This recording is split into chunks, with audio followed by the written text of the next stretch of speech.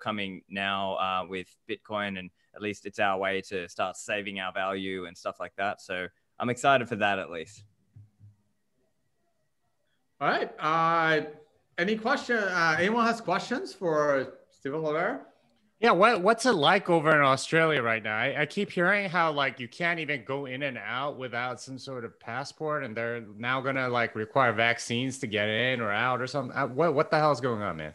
So I think the reality is it's kind of like they float various ideas here and there, right? Mm. And I think it's probably similar in America as well. They float certain ideas and say, "Hey, we might make this mandatory before you're allowed to travel or vaccine or whatever." Um, and so the Qantas CEO, Alan Joyce, so Qantas is you know the big Australian airline or one of the biggest, mm.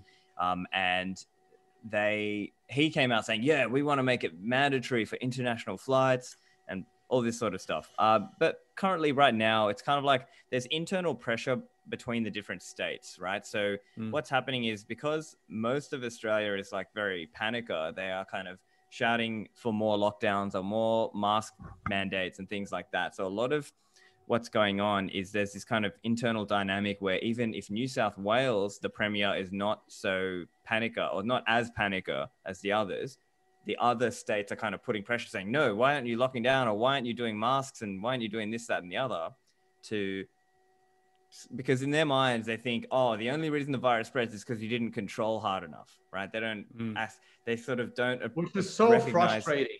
It's yeah, so frustrating. Exactly. Yeah, and so that's re- been a really frustrating thing. So I kind of, you know, I'm just kind of trying to keep my head down and do what I can, do what do you know, do do uh, live my life how I can. But um, there, there's yeah, look in Sydney, it's not as locked down right now. They are are doing some things like mask rules inside malls and inside hospitality venues and things like that. Um, well, as in you have to wear masks there, or they're open with masks or something like that. Yeah, so they've got like restrictions on how many people can be inside a restaurant or a cafe and things like that. There are rules in terms of masks inside uh, like cinemas or the shopping mall. Um, but yeah, for the most part, Sydney's still open.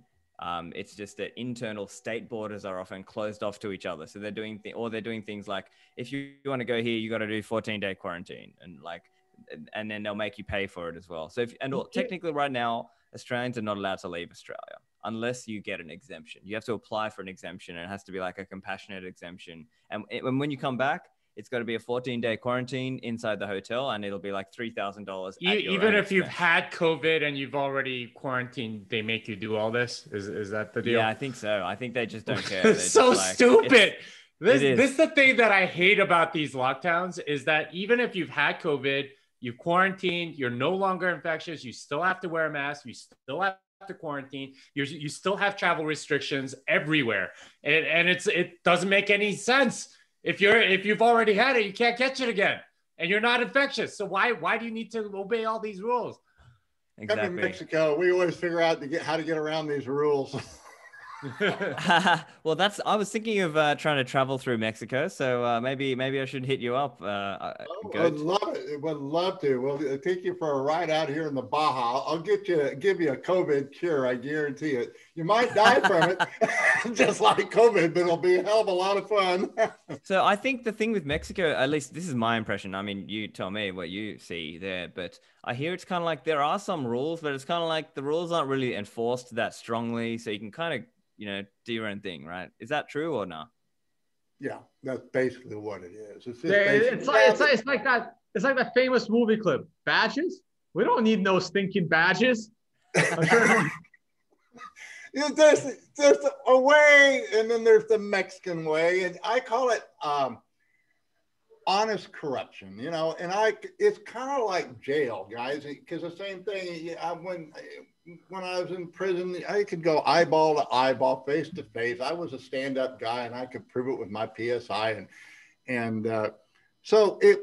I call it honest corruption, and and you can, yeah, you, there's a way, you know, it's and people re, you you earn respect by who you are and what you do, and all this the fud that you get, all the the crap that you get about Mexico is just not true. It you know, it is, but it isn't. I don't know how else to explain it. It's just Americans have a hard time adjusting to the thinking because it's just a different think, a way to think.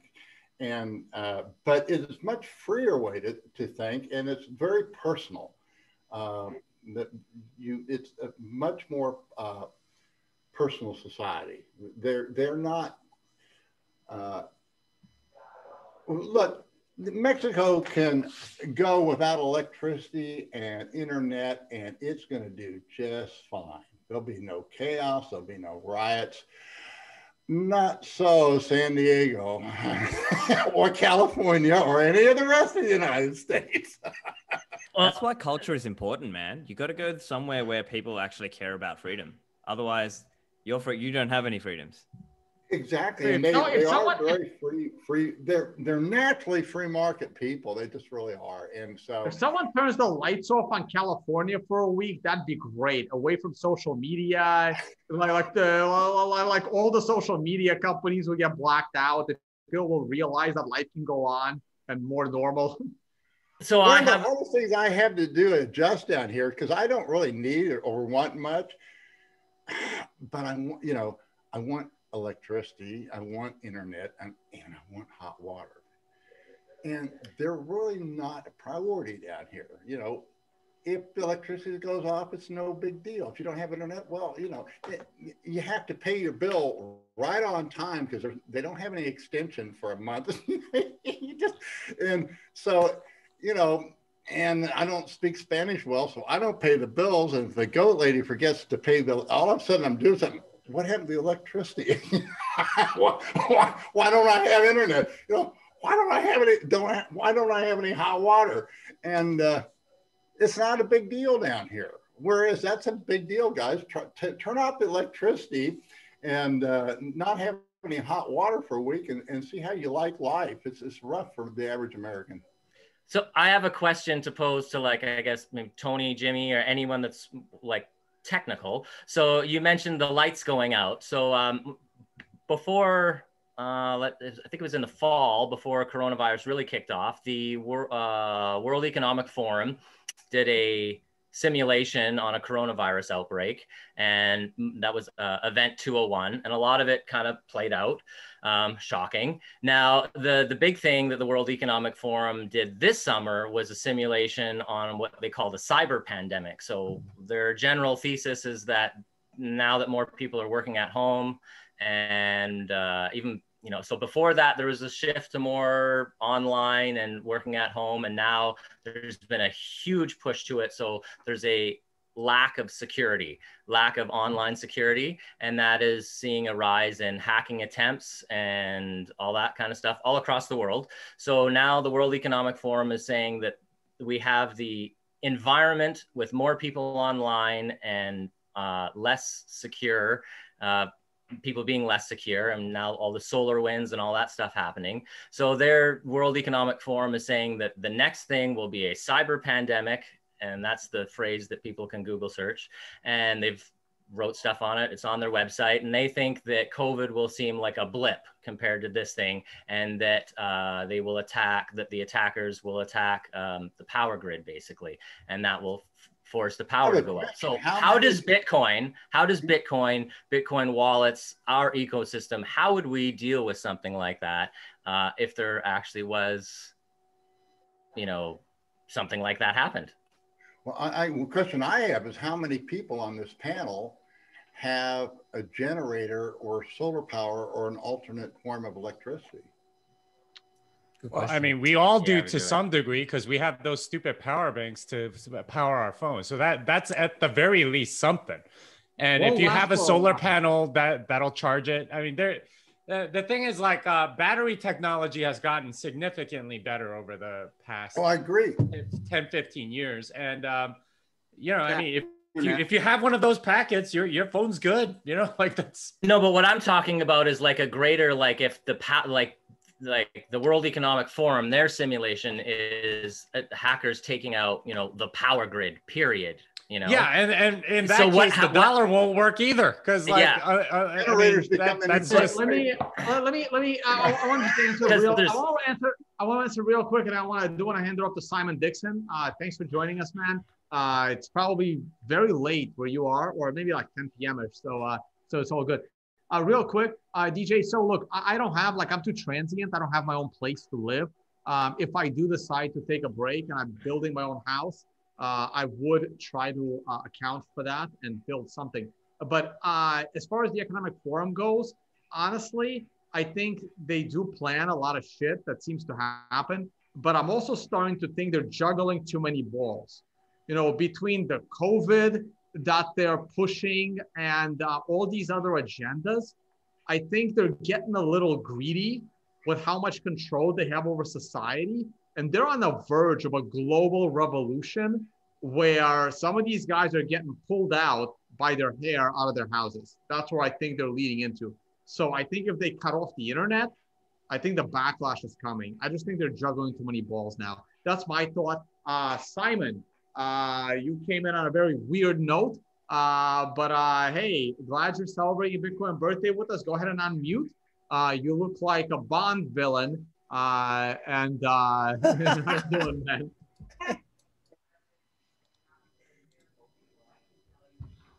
Okay, we can't hear you. You're you're muted or something. All right. So uh, Simon's figuring it out. Uh, so while that's happening, uh, any thoughts on me saying the elites are trying to juggle too many balls in the air? Uh, oh, oh, floor is open. One po- comment I'd say is that uh, I think people overstate the kind of influence of like World Economic Forum, right? Like I think from what I've heard, like I have friends who kind of work inside governments and things, and they, they tell me like World Economic Forum is not necessarily that powerful. It's more like G7 and G, it's like those things where they kind of try to collaborate a little bit. But at the same time, countries don't necessarily collaborate so easily because they also have competitive, they're also competitive with each other in some ways. So I think it's kind of like, yeah, obviously there are elements that are out there to try and like get power for themselves and control other people. But at the same time, uh, that like countries are going to all work together to screw you over. Like, like it's kind of they're often trying to screw each other over, or they might not like be that competent themselves. You know, so that's kind of also a, an, an interesting angle there as well. All right, Simon, do we have you back yet? Yeah. Is uh, is my mic working now? Yep. Yeah. You're, you're loud and clear. Oh, cool. Okay. Sounds loud and clear. Yep. Okay. Cool. Yeah. No, I mean, what? Uh, so we're we're talking cyber attack and conspiracy theories? What are we talking? Uh, no, no, no, no. We're, we're, we're talking Bitcoin's birthday and uh, okay. what you like about it. You just happen to join when we're on a weird topic. All right. Okay. Well, yeah. Uh, well, yeah. Been, been your, your, your, your, your connection is bad or my connection is bad? All right. Okay. I think it might be uh, Simon's yeah. tone. I think it might be Simon's because uh, yeah. he's coming out choppy to me. Yeah. Okay. Give me a sec. I'll play around a bit. Yeah, cool. try try. You should have a hard wire. Yeah, I mean, it might be it might be the Isle of Man. I don't know. Yeah. Yeah. or, or or the elites are listening and they're cutting us off. Uh, I'll comment on that weird topic. Yeah, yeah go start, ahead. starting to sound a lot like uh, E.C. Harwood because he always dismissed the conspiracy theaters, theorists uh, or conspiracies. So even if it's real, they really don't do a very good job. and, you know, juggling too many balls, I think, is a pretty good analogy. So, uh, you know, those are all interesting theories and so forth, but I, you know, you can't live your your life uh, according to the latest conspiracy theory. Well, it's not necessarily living it on conspiracy, but I'm just saying if you know whether it's the power grid going out or you know if there's a CME, you know, or talk about Faraday cages or different things like that. There is the potential, like it's we're dealing with a digital currency and online. So how do people that are smarter than me think about the potentials and way that the people that aren't super geniuses can you know look after their Bitcoin what if you know something like that were to happen. Satellite internet, guys. Satellite yeah. internet. You know, that's that's what I have. Uh, why you know I can go right on the internet. Are you on satellite now? Are you on JP? Are you on satellite now, or you or is that just a backup? No, it's a backup. It's not expensive. I mean, it can get expensive if you're a prepper. It can get very expensive. Well, I, I, get it. So yeah, satellite internet is a great backup, but it's it, it it'll get you by. But that's about it. Yeah, that's about it. You know, but if you need to transfer, if you need to do something, then that's that's your backup if the power grid was to go down. Hey, Tone, I, I got a question for you uh, on this topic, kind of, sort of, but this whole FATF regulatory um, thing. I don't know if you've been hearing about it, but just curious if you guys had thoughts on that and if you guys are aware of like kind of the OECD, I know um, Stephan recently said or earlier said that the WEF maybe isn't that big, but I was at the OECD event last year in Paris, and uh, you know, in a room with 2,000 regulators and all that, and and they're they're definitely real. Um, and so curious what you guys uh, what you guys think about that. I, I think we need to wait another six months. Uh, we got to see where they're going with this, uh, because uh, I, like I said earlier, Tether, uh, tether uh, Ripple is a bad example uh, to in order to see what the regulator's agenda is, because Tether is a freaking scam. So not Tether, sorry, sorry. I always keep Tether and, and Ripple. XRP. Yeah, Ripple, Tether Ripple, is not a Ripple. scam. Oh, Tether may or may not be a scam. The jury is out. I don't. I'm leaning towards not, but who the fuck knows? Uh, Ripple was a scam. This is not debatable. It was never debatable. Ripple was a scam from day one. So the regulators going after Ripple is a horrible uh, like assessment of whether the regulators are attacking crypto or they're on the right side of the future. And uh, a lot of us hate the regulators, but there are those rare instances where the regulators actually help the world. They're rare, they're few and far between, but they happen. And the Ripple situation is a terrible judge whether the regulators are bad or they could be somewhat helpful.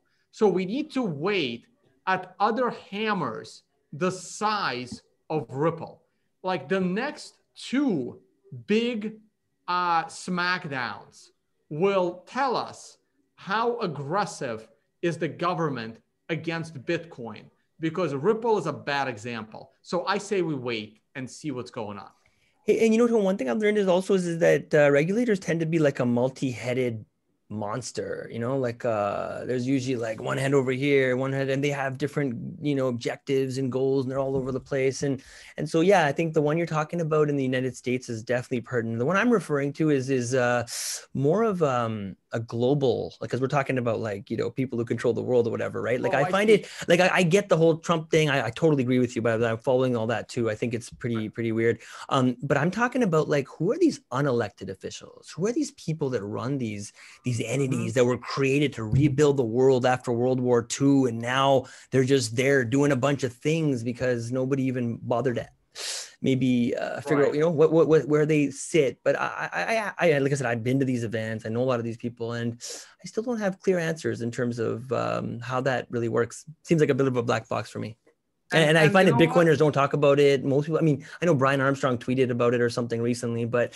it's just like yeah, you think people would be stressed out about this a bit more than they are because you know, what they're saying is they're trying to say, hey, you can't send Bitcoin from, let's say, your even exchange uh, that you just bought it to your own Bitcoin wallet, like on your Coldcard and whatever, whatever, like that. That right. I guess what I'm trying right. to say is, is that, that they that, might be smarter than we think. Mm-hmm. That, that's the bad part. So so while regulators like uh, CFTC and SEC, while those guys could potentially do some good, mm. uh, the FinCEN doesn't do any good ever to anyone. So there are regulators that are only bad. And the regulators that, are, that enforce money laundering laws, regulators that enforce the banking part of the Patriot Act, uh, regulators that enforce the Bank Secrecy Act, uh, these regulators are some of the worst and most despicable people uh, in the world. Uh, money is property, and it should be treated like property. Uh, money is not a criminal act. Uh, the and they're treating money itself criminally. Uh, the FATCA laws, FBAR laws, these are, this is what's going to destroy America. It's two things the uh, clown show that is the US election process uh, that's showing the complete distrust of the American rule of law, the economic reaction to COVID, and money laundering law enforcement. This is the three headed monster that's going to destroy the US dollar. And I would love to get Simon's take on that. So that is going to come to a head. Uh, so I'm with you, Sunny, on that part. And the unelected officials that are involved in that process, ignore them with Bitcoin. They you didn't know who they were and screw them because you have Bitcoin. Bitcoin is literally the last savior. I tweeted this out earlier. There are two saviors to uh, left. One of them is Bitcoin, and the other one is Trump. And the reason why the entire world hates the like the reason why the elites hate Trump and they control the media to make you the sheep hate Trump is because he stands for your freedom, but you don't see it that way. Uh, Trump and Bitcoin are the only two things left, and Trump is done. I'll admit Trump is done. So all you have left is Bitcoin. Hmm. Simon, show's over to you, buddy. Hey, Sunny. I don't know if my internet's still choppy. I'm having You're some crystal clear. You're crystal better, clear. It's better. All right, cool. Yeah, my internet. I'm on some backup now, and yeah, I'm having some trouble with internet at the moment. Um, yeah, so I mean, it's uh, yeah, very interesting times. It's an amazing run. Um, I'm not sure, like it's moving a little bit too fast for my liking, um, but then at the same time, uh, we have an incredible of coming together. Um, the US dollar, from from my perspective. Um, the US dollar is definitely at the end of a debt cycle. Um, definitely the future. They've been empire building for a long time. Um, they've been investing significantly in many, many different uh, regions, many different continents. They were first to market with the 5G. 5G is the future of artificial intelligence. Artificial intelligence uh, is, you know, the future of even these regulatory trends. So, uh, you know, regulate. Uh, you know, as um, as as I run a securities business, um, I've always had one step ahead of the future of exchanges. Um, and as an investor in many of the exchanges, um, they've been able to do withdrawals really fast. They've been able to automate withdrawals. But as a securities business, we've always had to do additional checks before every single withdrawal. And so people have always looked at us and said, well, why does it take longer to do withdrawals on your platform than it does on a crypto exchange? And it's because we've got to do all of these additional um, because we're not a, money service provider and we're a securities business, uh, we've always had to do the anti-money laundering invest for every single withdrawal, which slows everything down. But now all of the crypto exchanges are headed in that direction as well with the implementation of the and so everything is going to change in terms of the speed at which things can be done through these centralized institutions and exchanges um, and the automated withdrawals and all that type of stuff and all the you know the hack everything that have been through these exchanges um, everything's going to get a, a, little bit slower and a little bit um, these anti-money laundering laws are going insane and then you've got competing agendas like at the moment you know for our european customers we have to comply with data protection and privacy enhancing laws like gdpr uh, then at the same time, you have to comply with anti money laundering laws. And often, what you have to do is in direct conflict um, with the different laws. So you have you're willing to break um, because this ginormous friction between you know, protection of privacy and data protection versus money laundering agenda is just ruining money, which I think is driving so much adoption for people to operate outside of these financial institutions you know, on board into crypto, off board in crypto, you're going to have a hard time, but it's keeping people in crypto. And that's why you're seeing things like stable coins getting so much more. Um, people are seeing that this is, this is the only way to actually maintain the, the speed and efficiency because of these anti money laundering laws. Now, when you with central digital currencies, um, they're, they're going to be the, the, the mechanism for integrating all of these artificial intelligence rules for upholding anti-money laundering into code. Um, and so these regulations and things that are being built right now, they're all going to be coded in the next five to 10 years into currencies. Um, so, you know, this is a, so me, the, the big trend that we're seeing right now is America to me is starting to look more and more like China every day, and China is starting to look more like America every day. And you know, you've got fighting for freedom of press and uh, and um, some of these trends that, that, you're starting to see. So uh, a lot of things that we've been fighting for Bitcoin community, the ability to earn your own money, the ability to spend your own money without censorship, and the ability to actually um, excessive money printing, capitalist countries converge more towards socialism, and communist countries converge more towards um, and ginormous forum, um, you know, large global organizations like the IMF, um, Paris Accords, um, you know, England against uh, um, to try and in this globalist nationalist debate that seems to be happening. And yet Bitcoin just sits in the center of these things in a way. I'm just really grateful after 12 years that this whole community has got Bitcoin to this point where we are today, that it's just an absolute breath share for companies to protect their balance sheet, individuals looking to protect some of their sovereignty.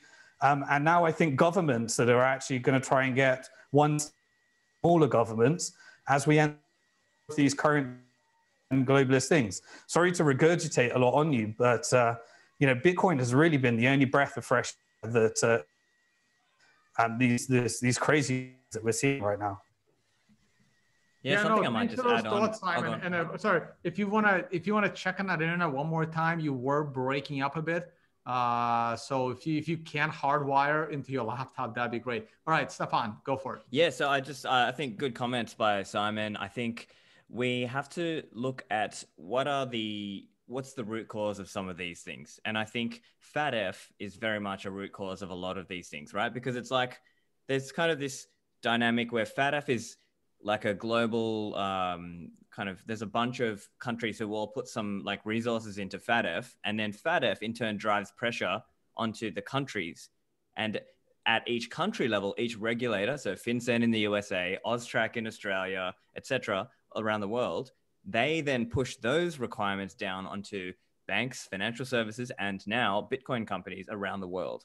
And so, in many cases, FATF and sometimes FATF is leading the charge, and then in other cases, it's more like domestically, certain countries are leading the charge in terms of uh, ramping up the financial surveillance and the controls that are required in terms of things like AML and sanctions. Typically, it's AML and sanctions that are mostly uh, that are the most onerous requirements and regulations. So, the way I see it is most of the time these entities, whether they are the domestic regulator like FinCEN or FATF, they are not considering the impact onto the rest of the economy, whether that's compliance cost, whether that's a chilling effect in terms of people not being able to start a business because you need to have XYZ number of millions of dollars to be able to profitably run a business that can comply with XY, all the thousands of regulations out there. And they also don't think about financial inclusion, right? So they, they kind of, they make some vague overtures about these things, but it ends up being that a lot of people just get shut out of the system because they can't afford to be a part of the system or the service providers that would have provided for them can't you know, feasibly operate or profitably operate under this kind of heavy burden of regulation and all these requirements of oh you need to KYC this person and ask for source of funds here and figure out who's the ultimate beneficial owner of there. And it just, it just becomes this massive massive compliance burden but that for us is the importance of Bitcoin and particularly open source software and being able to DIY so that you're not having you're not so reliant on somebody else running the infrastructure for you that it should be kind of commodity hardware and an easy enough for us to use like our, your own bitcoin node and your own bitcoin wallet and all these kinds of things. That's really the importance uh, for us. But then i think i wonder and i'm curious you guys might have views on this as well are there things that can be done to push back on FATF? Because I think they are very much a root cause for a lot of this. That was kind of what I was getting at too. Yeah, I think it's a good question to ask. I actually don't know the answer to that question. Um, but it's a very valid one. Yeah, so I mean, we I like to expect my ignorance, and can you please? I, I you're not coming across right, but can you tell me what that is exactly? Finance, financial, financial action, action task, force. task force. Pardon? Go on, Simon. Uh, yeah, fin- financial action task force. It's um, the you know the global um, com- so for example we're a secure we we operate a securities business in the cayman islands and the actually has very anti-money laundering laws because um, they have the, re- the the regulator of the regulator has just audited international standards and therefore they have a big crackdown on all of the things that we have to do now people, you know, we, we're being asked at the moment after having our um, internal audit, um, we need to make sure we're collecting signatures, authenticating that those signatures are real. Um, and all of this is just the, the you know, the let's face it, look, 9 11 away some of the freedoms um, that led to this ginormous, you know, fear dread, fear led um, anti money laundering agenda this is actually really about tax collection, let's face it. And this is about let's get as much data as possible because people are global citizens now, and we're getting harder and harder for us to go how and solve. And you know that's really what this is all about. Um, and the crime against is making sure you're paying the tax to the right um, person. Is it um, just me, or is it really cutting in and out over there? Yeah. Hey, Simon, okay. you want to try cutting the camera and it might uh, improve your audio. Uh, in the meantime, uh, the man whose hat is older than Bitcoin, uh, Mr. Michael Dupree, uh, go ahead and say a few words. hey, everybody. I uh, thought I heard some talk about regulation going on. So I figured I'd come on over here and join in as it's one of my favorite topics. Yeah. I have a solution to the problem. I'm all ears. All right, Mr. Dupree, uh, give us a little background. You're not on this channel often, and uh, uh, OG-ish. Uh, how many birthdays has it been for you? Uh, you know, I'm not sure exactly when I got into Bitcoin anymore. It's hard to remember, but probably around 2011. So it's not been too many birthdays uh, like some of the other guys here. But uh, uh, yeah, I'm Mike. I'm from EasyBit. Uh, we started Denver Bitcoin Center, and we do Bitcoin ATM stuff. And uh, yeah, it's really great to see everyone. Happy uh, all time highs, happy New Year's, all this kind of stuff. All right, cool. Hey, Simon, uh, you want to give it a shot on your audio, see what's going on? Yeah, um, I'm probably going to have to tap out. I think I'm uh, crappy at the moment and I'm giving you a bad experience. So I'll probably join you on the next one, I think, Tone. I can hear you now. Now that your uh, video's off, oh, we can hear you fine. Okay. Uh, I, I won't go that far, but it's better. Okay. yeah, I don't. Want, I don't want to give everyone a bad experience. Uh, my internet's really choppy at the moment, so I'll get. We'll join. Yeah, so, it's still a little choppy. Hey, we'll do uh, like, hey, next event, uh, guys, come up with the criteria for another. Give me another eight-hour live stream. Maybe the death of Bcash when it goes below one percent of Bitcoin. We'll have uh, to invite James like, Hilliard for that one.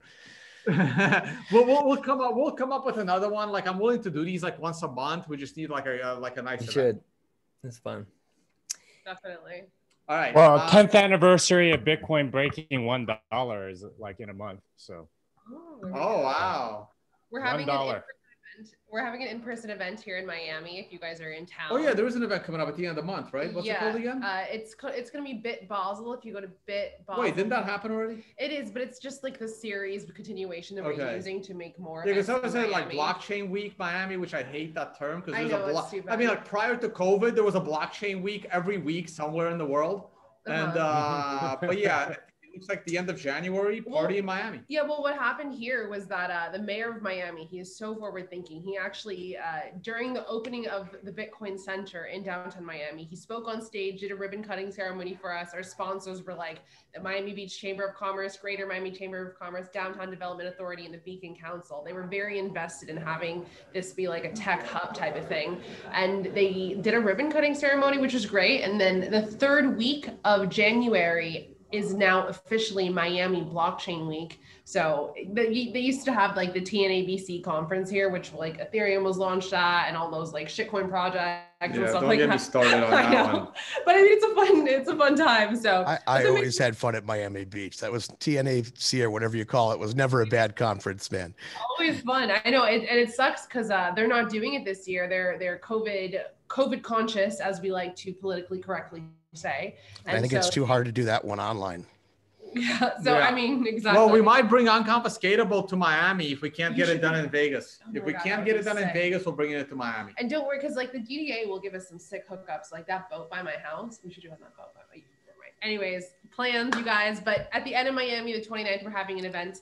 I'll post in the chat room um, the Miami chat so you guys can keep in touch and see what's happening here. We've got like a couple people here in studio just talking. Yeah, we're gonna have more people here coming, and then we're gonna do dinner. But uh, man, what are the topics? We had some questions actually, but it's uh, Fees and lightning. If if you want to go back to the regulation topic, I'm willing to discuss that some. I love talking about regulation. Uh, I was plugging in my camera when you guys uh, were talking about it. So where did everybody leave off? And then I couldn't hear what. Uh, Uh, no, was it's uh, you know? It was like me ranting. Uh, I'll, I'll just let you say your thing. Like I'm just saying that like like the SEC bringing action against uh, Ripple is a really really good thing, and we don't know if it's good for the right reasons or not.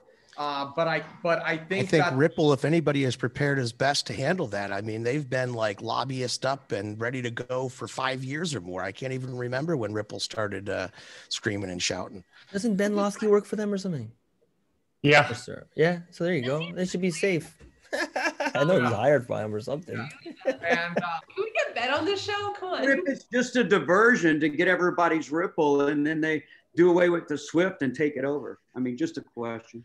Well, we all never liked Ripple because of the centralization. So I remember always, you know, at the conferences, they always had a big presence and that kind of stuff, but it was never something, you know, I think I bought a hundred dollars worth of it years ago just to test it out back when it was through, uh, I want to say, I don't know what that, I can't remember the name of the website, but there was a website where you could do swaps. It wasn't a, uh, so like I would buy through Bitstamp and then swap it into Ripple. I mean, that's so interesting that you said that too, JP, because I feel like if you're in Bitcoin, you're you're a forward thinker, you're probably pretty intuitive, and you kind of like to forecast where the world is going. And I think that what's going to happen with Ripple is that they are going to get in this lawsuit with the SEC. The SEC is going to fine them, obviously. Oh, look, they paid us money, ha ha ha ha. But what they're going to create at that point is case law by A which standard, yeah. Yeah, but by which crypto, the rest of cryptocurrencies are going to be able to function, and then they're going to implement Ripple as a Swift But but system. to me, they already created that case law with uh with the Telegram token when they forced them to do like destroy the Telegram token, and again with Kik. And if the SEC doesn't enforce their prior wins, the SEC has to force Ripple to remove their token from existence. That's the only way. And then they, I think that's what they're going for. If they can uh, already, you know, the exchanges are already delisting that token preemptively. But if they can force Some are. Some of the exchanges are having trouble with it because there's, uh, you know, contracts that are involved in leverage and stuff where they can't just eliminate the token immediately. Yep, and they're going to get sued by the users for eliminating that token. Absolutely, So absolutely, because it screws up with all the liquidity.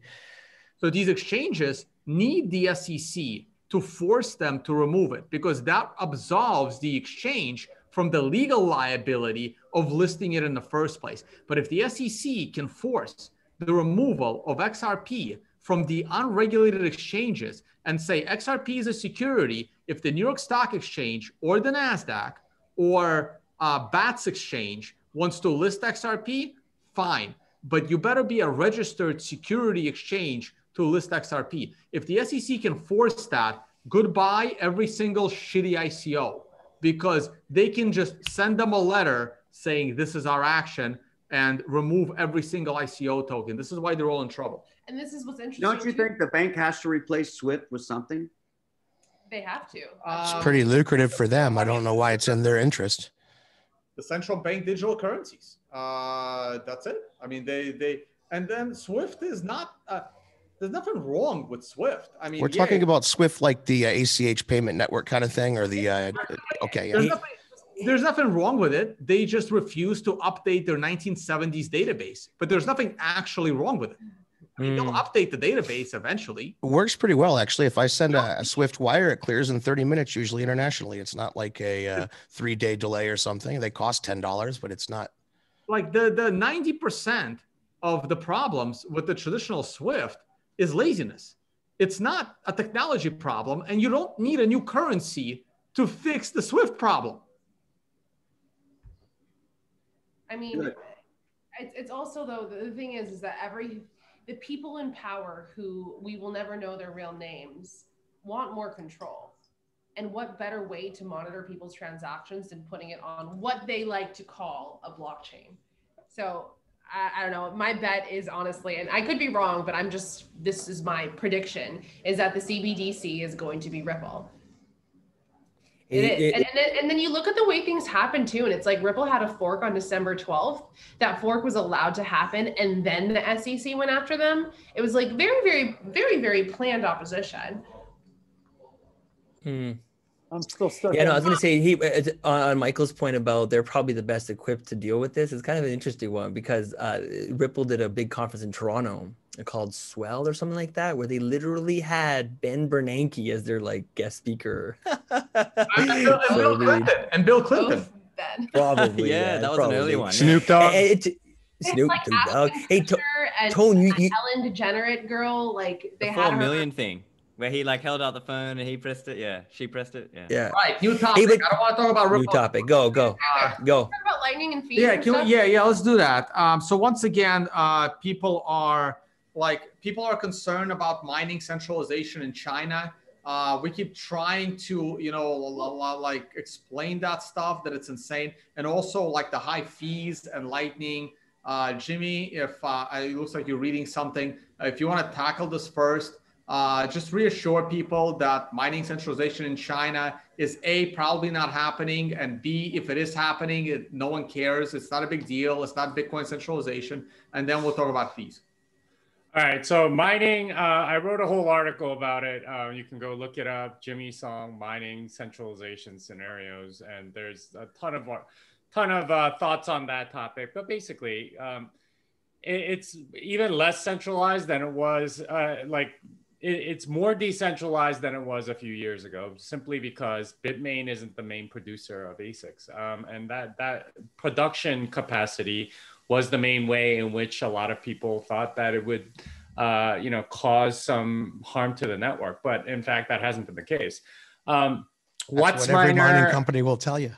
Yeah, yeah. Uh, MicroBT is uh, is a very strong competitor. Um, they're sold out for the next two years on their mining equipment, and they they are producing better machines than Antminer and so on. So, um, from a manufacturing standpoint, you don't have anything to worry about. Um, from a, you know like single individual miners, um, there are big players, but there's so many of them now. Uh, a lot of them in China, but there are also many in Canada and the United States. There's a lot of cheap electricity here. Uh, there's some in uh, other places, and you know, uh, even if they are companies that are operating out of China, they don't necessarily have all of their equipment in China. Um, for example, they'll often, you know, go to Mongolia and uh, and use the use the uh, cheap electricity there when it's not rainy season. Um, you know, or you know, if they're uh, if they're in Canada, you know, they'll they'll move around Canada and so on. Um, it's not an uncommon thing, uh, and it depends on wherever the electricity is cheapest. Um, you, you know, there's uh, innovations like using gas flaring electricity for that sort of thing. So, um, yeah, I mean, there it, it's very, very widespread. Um, this is usually uh, the people that ask are uh, concern trolling from altcoins uh, because they all like to point this out as like a weakness of Bitcoin. Um, they they're they're I mean it's just fun. That's all it is, and uh, nobody actually cares about it. So um, yeah, I, I wouldn't be worried, and uh, and yeah, please stop. Uh, you know, like uh, concern trolling.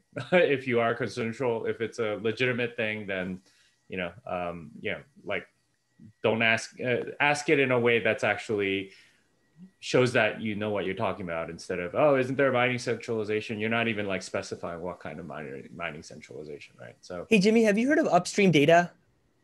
no what is that That's Oh Steve my God. thing. These guys are like it just blew my mind. I forget the guy's name right now. Uh, the website's Barber. Upstream. His name is Steve Barbour. B A R. Barbour. Yes, yes, yes, yes, yes, yes. So what they do is they take, um, po- I'm gonna butcher this, Stephen. If you want to, if you Stephan, if you want to jump in, do it. But uh, what they do is they take like wasted um, like you know how when in Alberta they're digging oil out of the ground, there's like uh, wasted gas that comes out of that process. That that waste is actually harmful to the environment, and as a result, they have to pay to the government. Um, this guy, this team of people, have figured out how to create little miners that they can they can take that waste uh, material uh, you burn it and essentially uh, mine Bitcoin with it or something. I don't know if they burn it, but they, they mine Bitcoin with it and they turn this waste into, you know, um, usable, I guess, Bitcoin, right? That, that the, the owners of these oil rigs can do. I, I don't know. I'm just curious if anyone's heard of this and if they had any thoughts on it. But man, no, not so yeah, much. that's uh, that's Yeah. the flaring and stuff. Something like that. I mean, Yeah, they're- yeah. I they're- mean, that- I, I know. Marty Bent's working on that, and, Mm. Yeah. So Mm. Marty with Great American Mining is a competitor to Steve Barbour with Upstream Data. I mean, Mm. up there up in Canada, but um, they're both really exciting businesses in terms of bringing some hash power to America as well. So this is like another angle in terms of the whole oh Bitcoin mining centralized, blah blah blah. Um, and I think also when we're talking about Bitcoin mining centralization, we have to also remember that pools and miners are different right? So Mm-hmm. just because the pool operators are in China, the miners can be elsewhere all around the world. And so it's kind of, you know, you got to, we have to remember that. And I think that's one of those things where when you're communicating to somebody who is relatively new to Bitcoin, they may not understand that difference. So you have to kind of teach that point as well. And you, and you also, I think we have to understand that China owns a lot, right? So, for example, I used to work in the world of aircraft trading and leasing, and the last companies that I worked for, I mean, was like top five aircraft lessors in the world, and about probably 40% of airplanes in the sky right now are on lease, and almost all of them are owned by the Chinese. So while Delta American may be Almost a billion and a half people over there. You got to remember, it's a giant, giant, giant market. We've got Yeah. airplane centralization, guys. I don't know if the airplane industry is going to work. It's like it's like uh, the the materials that it was that are required in order to make airports heavily centralized in China. The gold people that I hang out with, they all tell me that uh, there's fear that China has most of the gold. So this is not the only industry where there's just like, oh, China owns everything. But then you go to it- world, it- wait, wait, you, then you go to worlddebtclock.org and you see that their debt to GDP ratio is 66%. It's like it's all fucking fake. Look, and the other and the other thing is, look, And I'm Chinese, so I can say that. It's a free market. And if you don't like it that China that the Chinese are doing something, do something about it. Nothing, no one is stopping you. You know, like if you have the resources to compete, go and compete. I Uh, think there in general, also, they're just really good at some specific things, such as uh, the manufacturing of chips. So you're just going to have, uh, not intentionally because uh, there's some centralization. I think you're thinking plot. Taiwan Semiconductor, which is disputed as far as belonging to China or not. In So that's a- Shenzhen, they that's don't a manufacture a different. lot of those uh, chips for miners. No, they're they're all at TSMC. Well, I mean, they they they produce the heat sinks and the circuit boards and lots of other things, but not not the actual chips. Yeah, ugly, you're right. Mining for methane. There, the incentivization to create green energy structures has never happened before. Satoshi second guess. That's kind of what they did in Iceland, isn't it? They were mining over there using uh, geothermal uh, power, so that's not exactly uh, not green. I don't know about the production of miners in China to run over there, but the Icelandic portion seemed pretty green. Yeah, geothermal power is pretty green. Yeah. And I mean, it's just, it's just how can we repurpose this energy that we're already creating to add value? We put it into Bitcoin, and, and there's no otherwise. It's like, I mean, they used to pay millions of dollars to dispose of methane when they mined for oil or when they dug for oil, and now they just use it to mine Bitcoin. I thought that they just like burnt it off the top of a, uh tube at the top of the oil rig, is how the methane went out. I'm not Whatever sure it was, it was very expensive, and now they use it to mine Bitcoin.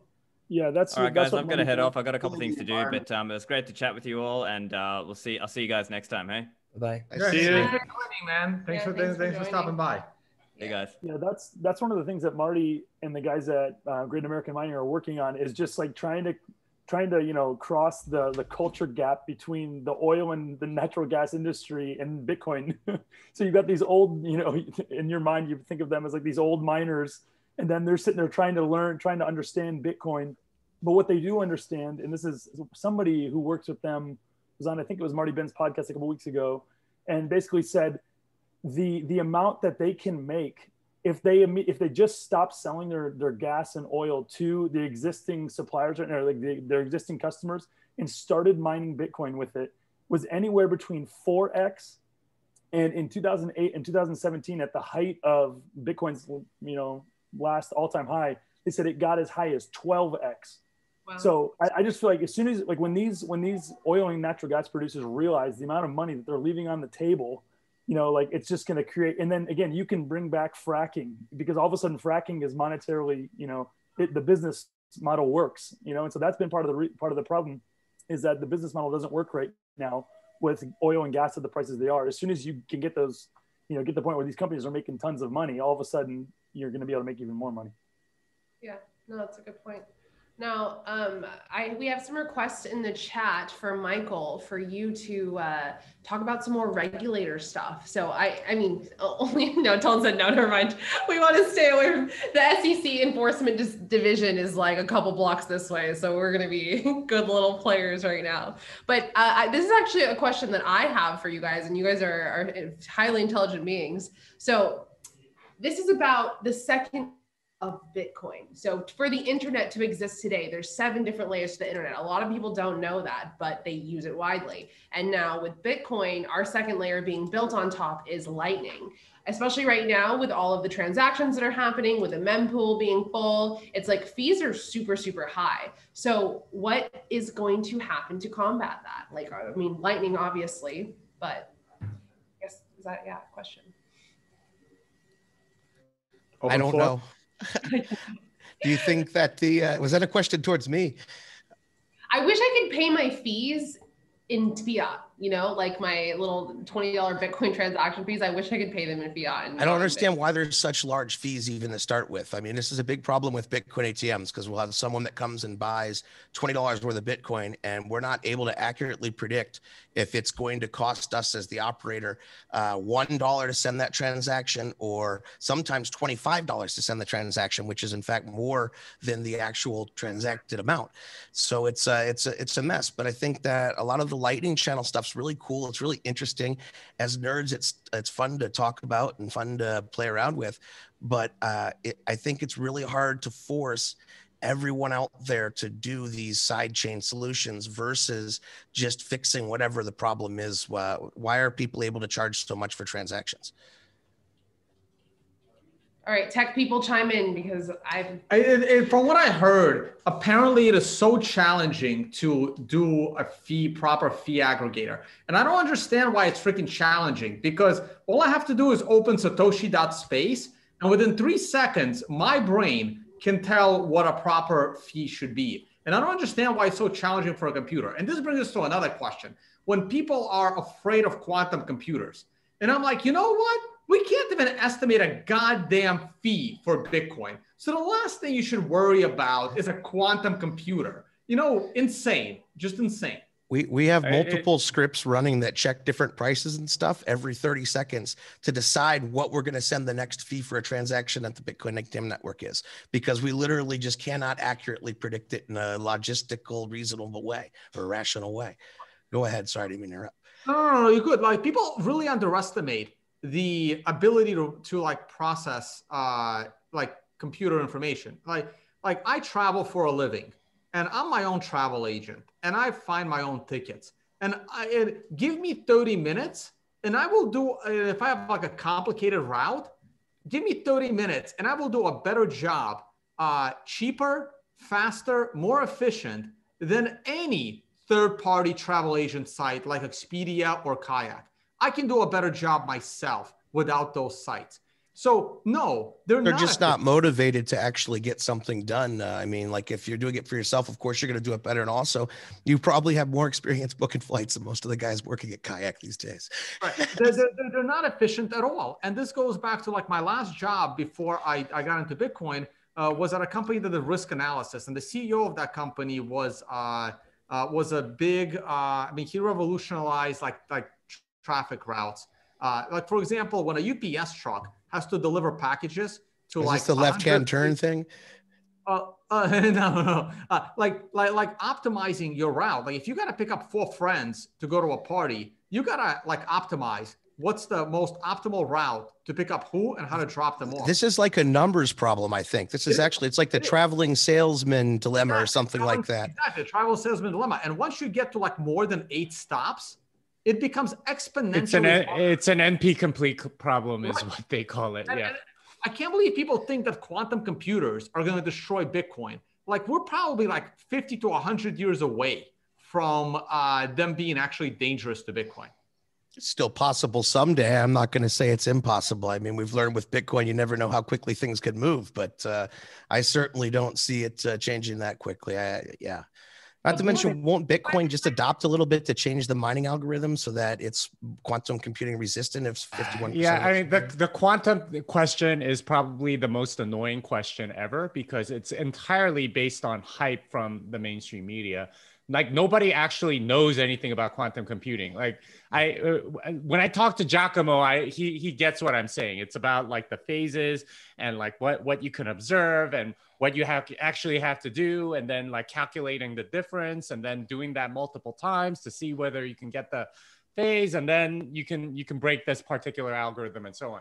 But it, it's it's not easy and people seem to think oh it'll progress just like microchips or something. It's uh, yeah, like you are going to buy a new cpu and all it's of a sudden you can crack like bitcoin. that. no it's it's nothing like that. It's it's very much like you you you have to like cool these atoms down to like a fraction of a degree above absolute zero and keep them there in this like weird quantum state and then like observe things and then you might have like quantum decay or and all kinds of things that you have to correct for. It, I mean, like people make it sound like, oh, you know, we just have to put 30 more people on it and then, you know, it'll be completed in like five more years. That's not how it is at all. This is like, this is stuff that is just so difficult that if innovation comes at all, it would be done eh, it, like it, it, would take a uh, it, it, would be it would take pretty much everyone by surprise. And you need like four or five of those you, types of you wouldn't analogize it? anywhere close. So like it, eh, eh, would you would you yeah, analogize it to when asics came out though? To like when we were you know the no no it's between nothing like asics asics from gpu like, to we asic we knew the actual process of how to make an asic it wasn't that was inevitable this is something that is just so completely beyond what we know how to do. It's too it's, theory. It's, it's difficult on a theoretical level. It's difficult on uh, on an engineering level. It's difficult on a production level. It's difficult all across, and you have none of the infrastructure that's built for conventional computers anywhere near uh, uh, yeah, anywhere near what, what you have for conventional computers. You have silicon manufacturing. You have oh. all sorts of circuits and transistors and all, all sorts of stuff that's already built. You don't have anything like that for quantum equivalents of any of this stuff. You have to have like it. It just boggles my mind why people think they're being smart when they say, "Oh, but what about compu- quantum computing?" Okay, yeah. then explain to me exactly what quantum computing is, and then they they they uh, give some like. Uh, you know something that maybe they read in a uh, in a science fiction book four years ago and think that they're being all smart which uh, the science fiction writer probably doesn't understand either so it's like it, yeah. it's like third or fourth hand or fifth hand information that they have no idea I, what the hell they're. Talking about. I think there's far more pressing, be, urgent issues that could uh, yeah, I, make mean, problems than quantum these are, computing. These are things that this is what midwits think is being smart is throwing up objections that sound interesting, but to anyone that's actually versed in the actual stuff, we actually have real problems they, to fix. These, these are these are the real idiots that ask questions like that because they don't understand anything at all. Yeah, and this anyway, is one. Of I just needed to get that off my chest because how you really feel. I, I, I, it's, it's been bugging me for so long because it's just something that people Shout from the I would like to try so good. That was good. That was good. I like that. What would if we have to come up with a definition? What is seigniorage and what would Bitcoin seigniorage look like? If we're our own banks, seigniorage was the right of the king, and they actually supplied this money supply. It served. Well, I mean, that's I, I think the closest analogy is uh, did not Bitcoin have fees, the face no? value of the of whatever it is. And so, you know, is seigniorage a valid economic principle, monetary principle? I think it is. It was a service that governments actually provided and they didn't tax anybody. It actually, it was the way that the, the king could, you know, uh, tax the nobles, sort of say, but he was providing a service for it. and I don't have the answer to this, but I'm just saying I think there this, this isn't a new problem. It's seigniorage. And I think we need to look into what would what would Bitcoin seigniorage look like. And, and plus, too, Can the market solve I, I that? think it's already it- there. No, um, I mean it's it's basically just miner fees. No. and let's say that like also with IBM Watson, right? This that's this huge supercomputer that people always reference. By the time that even it even gets to the computing power to be able to do something to the Bitcoin blockchain, that will be years from now. And it's not like the Bitcoin blockchain is going to stay the same in terms of its hash power. It's going to also grow. So it's it's not like a one thing grows and and then everything else remains the same. another point is this that like i mean again you have uh, you have innocent people right who like hear these things and who genuinely are confused and concerned about them. Innocent So- people. Yeah. You have people who like who just don't understand. They just heard this thing and so they're afraid whatever. And so one of the things that i do is i just follow them just keep going down the road with them. So it's like okay so who's going to be able to come up with you know a quantum computer? A nation state. So as soon as some nation state has this you know again they come up with this thing and they attack again bitcoin is going to be lower down the totem pole than a lot of other things like power grids and all these other things. So like let's say they do that. They attack the power grid well then they just and they steal from literally every like nation on earth like they've just set themselves up as they've set themselves up themselves up as a target that, to be taken out by all these other people so it just like the game theory doesn't even work out it just doesn't make sense All right, hey guys, can I just read a comment that like maybe it's because I've been streaming this for the last what ten hours now or something. Uh, I mean, it's just like I read it twice and I'm like I, I'm I'm a little too slow. Maybe somebody else would would understand. I should also throw in there, you know, talk to me about quantum computers where half my computer problems aren't solved by restarting the device. Uh, okay, uh, so A6 A6 solves those already, right? Here's the comment. Uh, I, I, don't, I don't even think it's uh, related to quantum computers, but it's just a general comment. I think it's smarter than me. Uh, if the energy value of the bits used to store the smallest money unit is above the notional value of that money unit, then there is an arbitrage. Get the money, take it out as energy, and sell the energy. Uh, if someone, I can read it again, uh, but like, can someone explain I that mean, to how me? How would you convert follow. it to energy? I mean, like if if uh, if storing it, uh, you know, I'll read it like- again. I'll read it one more time. Um, if the energy value of the bits used to store the smallest money unit is above the notional value of that money unit, then there is an arbitrage. Get the money, take it out, and sell the energy. Well, that, but it, it it assumes that it's reversible, that you can turn the turn the thing back into energy. The money back into you- energy, which you can't. Okay, got it. Now, Yeah, now it yeah. I mean, sense. it's it's kind of a nonsensical question unless it's reversible. So That's correct. You can't you can't convert your Bitcoin back into energy. It doesn't work. Well, you could use your Bitcoin to buy energy in an open market, perhaps. And for example, But- solar panels do that. If you have a solar panel without the diodes to prevent the batteries from going backwards, the solar panels will radiate heat as the electricity goes through the solar panels. But you're right, doesn't really work with Bitcoin unless you're going to run an ASICs backward or something like that. well, that wouldn't that wouldn't work either. so, I mean, you you look. You, you, you would have to reverse the flow of thermodynamics in order to make Right. that. You can also burn your Bitcoin into something stupid like Counterparty, but uh, it's up to you. Coldcard. Hey, I wanted to say hi to fellow Bitcoin ATM guy, um, Mike Dupree. Hey, uh, sorry, I went for a bathroom break really quickly. My apologies. Hey, That's haven't seen you in a while. How you doing? Good, good. So, Welcome. Mike, how- Same forums and stuff sometimes. so Doug, how do you figure out your miner fees? I don't mind. I the best. No, no, no. advice- In the ATM, In in your the in your ATMs. ATMs. Oh, oh, oh. Uh, we you're let the market that decide. Yeah, the market decides. So we have our deployers are the ones who set the fees unless we deploy the machines, which we kind of do in my Miami area a little bit. We've got three of them down there. I know. I want you to go look at it. But our, we we you know the our deployers look at the going rate amongst competitors, and then they set those fees. That's typically how it goes. We're not, we're not talking about the transaction fees. We're talking about the mining fees.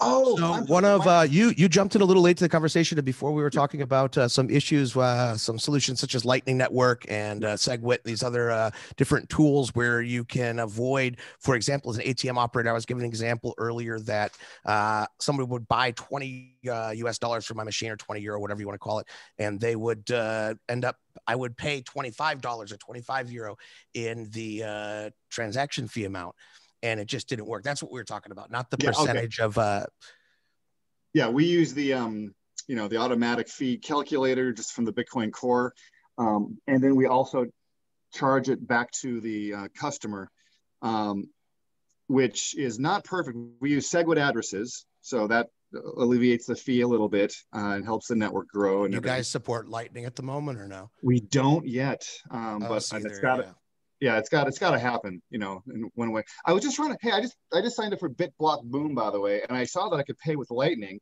I was hoping to use Strike, you know, where it pulls money from my account straight into Bitcoin, passes it on to Gary Leland. That would have been kind of cool, but it, it he was I, on. He was on earlier. Hey guys, I, I wanna. I want to get a couple of guys in here, a couple of brothers. Uh, are uh, we have the Arnold brothers uh, from uh, the Altcoin Daily Show? Hey guys, thanks for joining. Tone, thank you so much for having us on, man. We're a huge fan of your show. Long Bitcoin. Can't wait for these altcoins to die. We, we talk about the whole market, though. Uh, great to be here, man. it's amazing. The altcoin daily show can't wait for the altcoins to die. It's uh, that's so like, like Bitcoin. Love well, it. I've seen every single episode, uh, crypto scam. I mean, still, you know, I'm excited about the trends in the cryptocurrency space, but uh, you know, given enough time, going to trend towards zero versus Bitcoin. I haven't heard my announcement uh, earlier, so I think January uh, will be the last month that I talk about uh, that I shit on shitcoins. Um, I, I, think I'm retiring from talking shit about shitcoins. It started for me. Uh, I always try to like you know create new trends. I've been slacking for a year on creating the Understanding Bitcoin uh, series, where just like, you know, in 2015, 16, or 16, I think I started the uh, crypto scam series, which I didn't f- continue following. Uh, but now it's time to do the opposite. It's time to start the Understanding Bitcoin series. And I'm going to start just ignoring the shit coins completely. And I think uh, my life would be a lot better and more enjoyable. Uh, so that's the direction that I am headed. Uh, but I, I, think I've educated the world enough on staying away from shitcoins. Uh, but my question for you guys is how many Bitcoin birthdays is it for you? I have one reply for your shitcoin story, and that is people always ask me, what do you think about all these altcoins? And what do you think about like the United States government creating a cryptocurrency of its own? And uh, my uh, reply to that is always, well, if you want to talk about shitcoins, there would be no worse shitcoin than taking a Federal Reserve and a government and a state and creating crypto out of that. A blockchain's absolutely not needed. We don't need those people involved in this. That would be the ultimate shitcoin. But I'm with Tone on most of these uh, most of these new coins, unless you got a real purpose or uh, you got some real cool concepts behind you. I'm really not interested in hearing a bunch of theories anymore. We've we, we all went through that for what eight years now or something. Like we, have heard enough. Hey, every altcoin that gets sued by the SEC will cause a Bitcoin pump. Uh, but I totally feel you, Tone. Sometimes it's better just to be neutral and talk about Bitcoin. Yep, yeah, that, that's my plan to do it. Uh, hey guys, go ahead. Floor is yours. Talk about Bitcoin birthday a little bit. You guys aren't new to running a uh, running a podcast. Yeah, absolutely. Aaron and I first heard about Bitcoin in 2013. Goddamn wish we would have got involved. Didn't really pay attention. Uh, got back, uh, got back on a radar very late 2016, and then that 2017 run up, we got more and more interested. Started our channel in 2018 when everybody was leaving cryptocurrency. People were getting less interested. It was after the bubble, and slowly cultivated a channel out, building a like minded community. So excited to be a part of number 12. I guess it's only been a handful. Yeah, totally. Um, this is our first bull market as as content creators, and, and we're like market commentators. For those who don't know, um, totally just you know average people in the space commenting on the market. Um, but to this, I heard you asking people earlier, you know, what is your price prediction for the uh, end of the year? So I guess I'll just say mine, and maybe Austin has something different. And uh, you know, I like to explore what the experts actually have to say and, and talk about that. But I guess if Bitcoin did 300% this past year for going into a more mature phase of the bull market, we're at least going to do 300%, I would assume. And that's at least $115,000. So that's my end of the year conservative price prediction. Yeah, for me personally, I'm not selling till we get at least to 2 million. So does not matter. Uh, I'll see you guys at 2 mil. Jimmy, you remember uh, when we interviewed you and met at Bitcoin is? I do, I do. It was it, it was fun, and uh, you know that that's where I made connections with uh, Russell Okung and uh, you know George Mekhail and you know a lot of those guys uh, ended up helping with the book. So yeah, it, it's uh, it's a you know the book kind of came out of that conference a little bit. That's why I give to that. I used to give uh, the Bitcoin Standard, but you know people have to like understand what that is. I always give the little Bitcoin book. I gave a couple. Oh, oh, this is I'm talking about Thank God for Bitcoin, which is the latest book that I have. Oh, what? I didn't even know. Okay. Uh, okay, well, I mean, uh, Jordan was on earlier. He's uh, he's one of my co-authors, and Julia was on earlier. She's one of my co-authors. Uh, but yeah, let me know if you want to talk about that. Okay, cool, enough. cool. Because I love the little Bitcoin book. yeah, it's a it's a little bit different. It's it's uh, got a more moral and spiritual element. So yeah, there you go. I have a question for the Arnold brothers. Are you guys still acting? Yeah, we're uh, full time actors, full time uh, crypto YouTubers. We're in the union. Uh, we're actually uh, in pre-production and uh, just got cast as guest stars on this Fox show. Uh, that's we're going to be filming in January, but we do both full time. We, we, like to work. Cool. Last, so speak, where you guys at? LA, LA, baby. Oh, speaking of um of books, Jimmy, I don't. I try to reach out to you guys because I have I wrote a, a, a screenplay and a book, and I think I might just self-produce it because I'm so pissed off that the Hollywood system takes so long. I wanted to see if you guys wanted to take the starring roles. Um, it's, it could be it could be a brother team. I don't know if Tone read my book. Tone, if you've got it, could you hold it up? It's called The Apology. I'm in Miami. Uh, he's not. He's not home. Oh, yeah. that's right. That's right. But I'm I'm kind of semi-serious. I've got some commitments from, from some other actors in the Bitcoin space too. Oh, oh, oh, can you back this up? Why are you asking me to hold up your book? Shouldn't you be able to hold up? and why are all the OGs in the Bitcoin space actors? Yeah, I'm, I'm not an actor, dude. I'm not an OG. I'm in my girlfriend's house. I don't know where it is. What's what's the elevator pitch? What's the movie about? You got to give us the one line. Okay, are you ready for this? Okay, a guy does something stupid with his girlfriend. She breaks up with him, and she was right. He writes the apology letter from his heart and gives it to her. She comes back. His buddy or brother says, Dude, can I borrow that letter from my girlfriend? Oh, no, it'll never work. This was a personal letter only for her. It worked because we're a couple. No, no, it'll work for me. I'll just change the name, a couple of nicknames, and a couple of memories, and it'll work for me too. Bada bing, bada boom, it works for him too. They make a business by allowing other guys to buy this letter online anonymously using Bitcoin. And it steamrolls from there. There's a hacker incident. They bring in more letters. They become an international sensation that everyone's trying to find. And at the end, they get discovered. And there's a big, giant scene at the end. Everyone cries because it's so beautiful. It's a it's a romantic comedy. Sounds great. Along the veins of Silicon Valley and um, modern romance. Meets Justin Sun. And, and, what role do you have for Tone? Is he going to be the guy that uh, that Villain. initially breaks I up, think, or what? Uh, Tone could be the guy. If you, the letter is is copied. Well, the, yeah, you the, would you would think it would be very easy to like just like torrent or something, you know? Well, like, what I did post yeah. on Reddit. So in stories, you have to do a little disbelief. So in in my uh-huh. story, the letter is gets deleted after it's delivered and uh-huh. you have to pretend like you can't copy it. So there's a little bit okay. of a suspension of disbelief there. But yeah. Okay. Making so, making the letter a scarce resource instead of an infinitely copyable one, which most digital things are. NFT. Yeah. Exactly. Just kidding. Yeah. That sounds pr- pretty cool. Did, have you emailed us? That sounds interesting. I, I I think I have, but would you guys in the chat just throw me an email? I will get right to you. I'll send you the.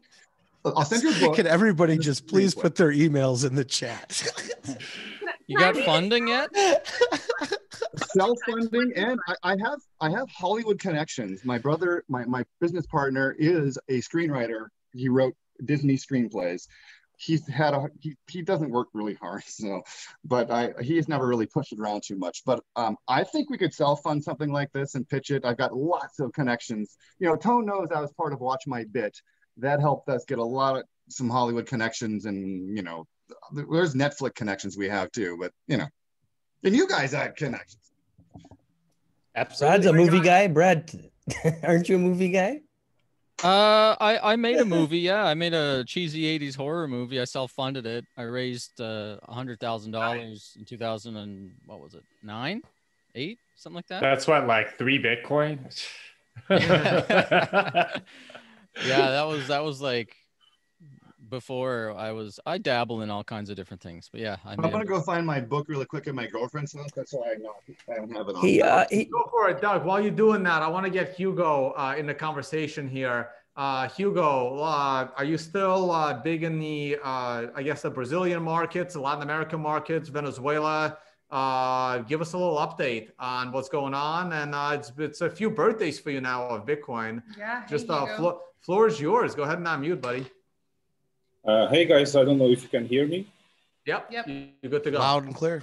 Uh, okay. First of all, thank you, Tom, for inviting me. It's the first time I join your stream, uh, so it's uh, it's very nice to see you all here on the uh, Bitcoin birthday. So uh, happy birthday to all.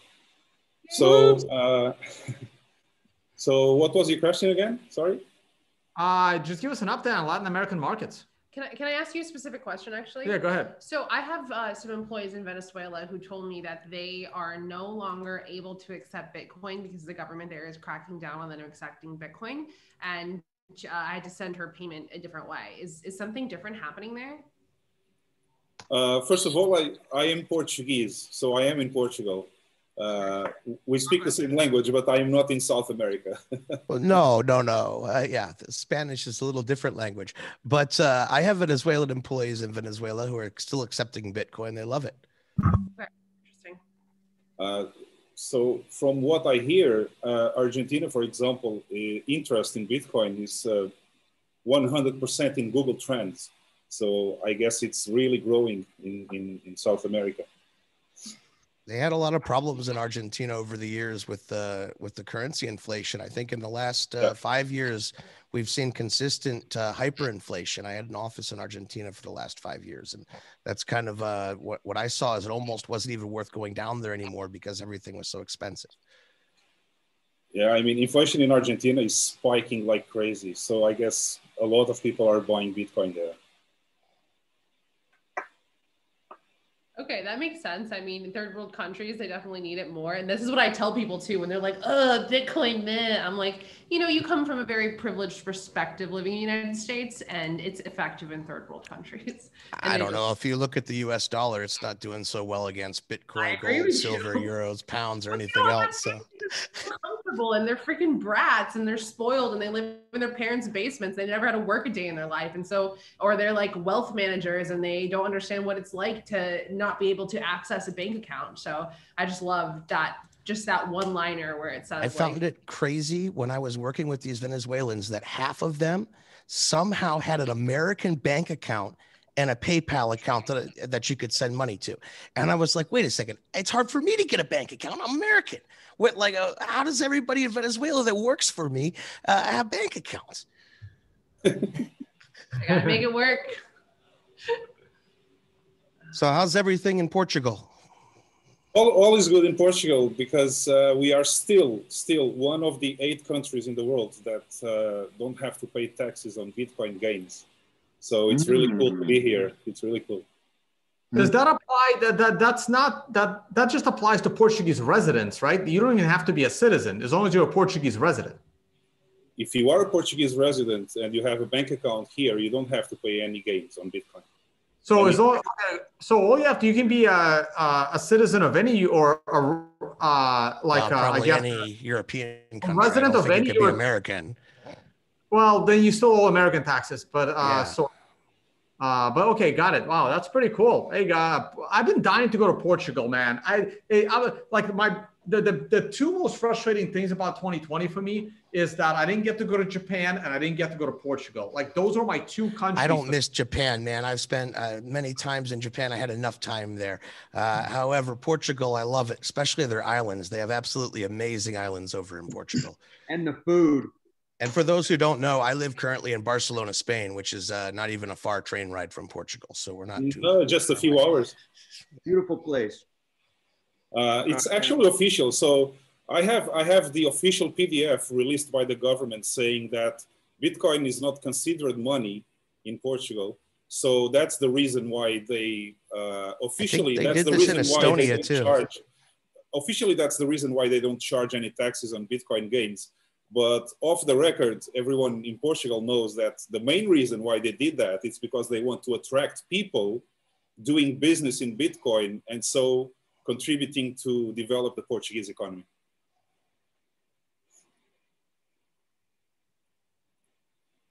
I think right. one of the other people that did this was Estonia a few years back had said that with their e-residency program and such that you could easily incorporate a company there and that they wouldn't tax you on uh, gains from Bitcoin because they didn't consider it property at the time.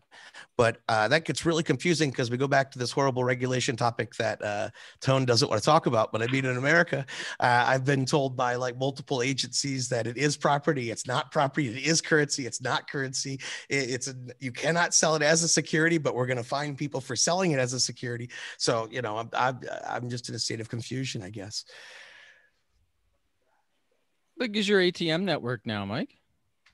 Uh, we're in 18 or 19 countries, but uh, we're a lot smaller than we used to be. So, I mean, back in the earlier days, uh, we owned like maybe 50 or 75% of all the ATMs in the world. And uh, these days, I, I didn't check recently, but uh, last time I checked, there was like 15,000 Wow. Bitcoin ATMs in the world. Let me ask you one thing about it. Sure.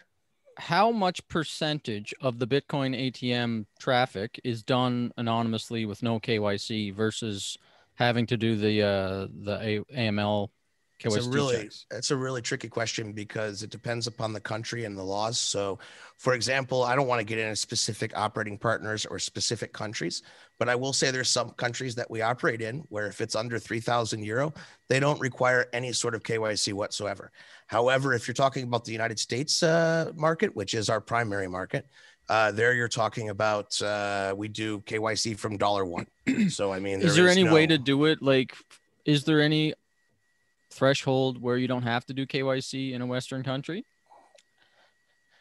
You know, this is not, I'm not a lawyer. This is not a specific question. It's a, it's about how you interpret the regulations and such. And what you come up with is an entire compliance plan for your company where you have to figure out like, what are we comfortable doing and not doing? So it's not about what exact law says this or what exact law says that, but what do we know we're going to be able to do safely without violating some crazy federal anti-money laundering uh, criminal. I- I, don't even know what they they probably continue a terrorist if you're a money launderer in the United States. So we play very much on the side of caution, and as such, we take uh, KYC from dollar number one.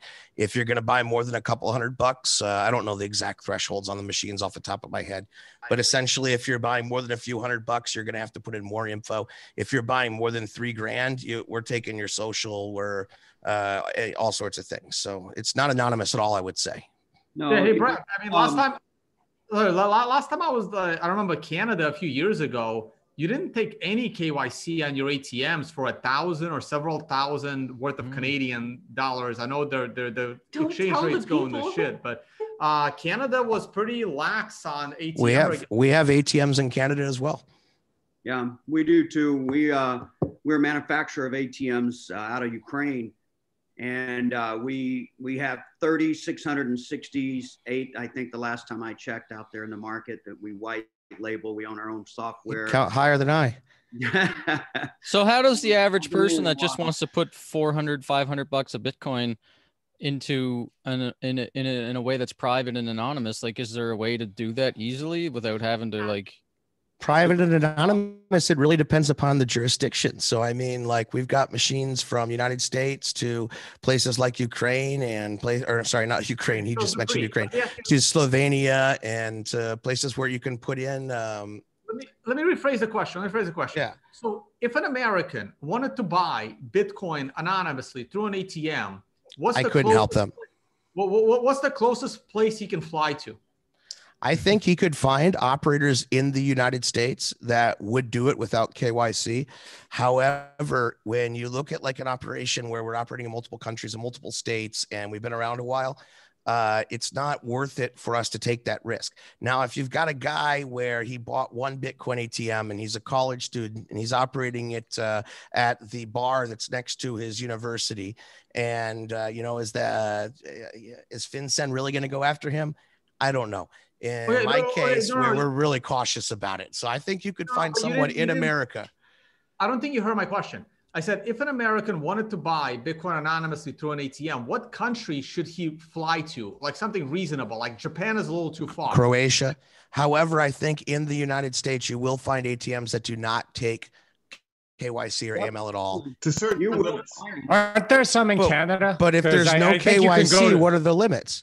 I mean, if there's no KYC, I put in 1,000, then I start the next transaction and put in 1,000. So, I mean, if there's no KYC, then there are no limits. Sorry, Jimmy, didn't mean to cut you off. You know, if you guys Uh, Aren't there ones in Canada? I mean, I, I imagine. I are. have ATMs in Canada. There, we require just a scan of your Canadian driver's license, and you can do up to like 10,000 or something on uh, one transaction.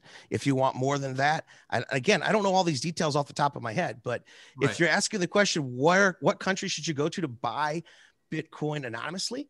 I would say uh, Vietnam's high on that list. Our ATMs in Vietnam, the Vietnamese government does not. How about require- Mexico? Some somewhere closer to the U.S. I think Didn't have any looking- in Mexico. Bermuda, um, you know, I don't know, like we're- uh, Jamaica, have- something, like- something like we that. have ATMs in Panama, uh, in Ecuador. But in- did they not require KYC? I have also in Ecuador.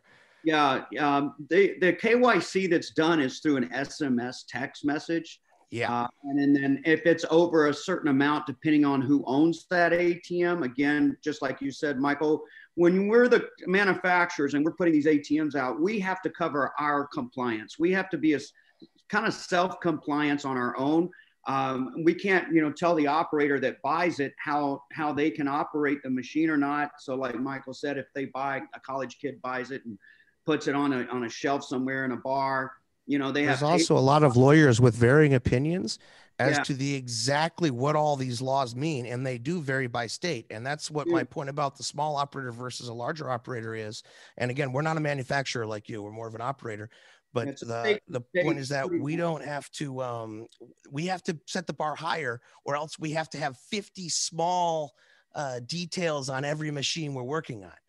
Right. In the And chat, there's like uh, two or three people there that are saying that there's local ATMs around them that that do know KYC in Oh, Canada. In? Canada, but it's it's um Coin it's a- Radar ATM, you know, Coin Radar ATM has all of the or or anyone Yeah, that's that's Vlad's site. He's up to like 15,000 ATMs on there now, and everybody that's looking for an ATM uses it, all this kind of crap. So, yeah, yeah, it's you, the, you uh, can get an, it's an app on your phone. You know, you let me pitch you guys. I got an idea. I've been thinking about this for for at least 10 minutes. sorry, Bitcoin's down. I can't afford it right now. we got three ATM people here, right? So I was inspired recently by listening to I actually have um, two personalities as well, so it could be fine. I was listening to a, I've a. Paxful. Paxful, they were talking about the crazy like high amount of peer-to-peer trading that happens in in those markets in Africa and in India and stuff. And um, you know, there's like it, it the, the the gray market for over-the-counter trading or whatever is just a cultural thing over there. It's it's like, you know, you can't even own a certain like more than a hundred dollars worth of dollars. You can't use more than more than a hundred dollars, a hundred dollars worth of USD over there. So it's just like they go to the edges. So i was thinking like, well, how can we, you know, spur that along in North America using ATM networks so that it's peer to peer through an ATM? Like, is there a way to kind of merge local Yeah. Bitcoins? M-Pesa, and M-Pesa. It- The so problem is Vault that- we- go ahead, we go ahead, a- Doug. Well, we've had, you know, this vision of an ATM that was a bankless ATM, you know, where the biggest pain points for ATM operators is cash. So, you know, we have an ATM that actually pulls cash in through crypto, and then on a legal, separate other side of the same machine is a way to um, dispense uh, ATM money through bank ATMs. Now, internally, there's a legal separate lock that those two funds don't intermingle at all. but that's one of the possibilities where we help people in you know uh, you know the other 6 million the other 6 billion people to join a network because they don't have bank accounts but they may want to and there's even possible this is what I was going to say is like in Africa, a lot of these people are using M-Pesa and you're asking, yeah. why don't we put a bunch of machines down there? Because Bitcoin ATM machines are very expensive and they're very culpable to uh, theft and such. And mm-hmm. the average transaction saying, and I'm saying uh, like bring that here. Like there's a ton of volume. People don't care about regulations in Africa. There's a vibrant community of we of can't bring privacy. that here. Talk to your local government and tell them to let the Bitcoin ATM companies bring that here. We do a cashless machine. Uh, we have a cashless that, that's 500 bucks, literally, that you just sit on a counter, you drill it into the counter, and that's it. And, and it works wonderfully. That goes through like the, the, does that go through the clerks of the stores then or something Right. like that? Yeah, Yeah. it goes through our own banking system that we have internally. And then we get, we, every month they get a check. Or they, But how does uh, cash get from the store to the bank? Because like we've had deals with stores before where they've tried to deposit our cash, and even with compliance working on it, it was still a nightmare. Uh, we we're our the one we have is cat. We have a cash in, cash out.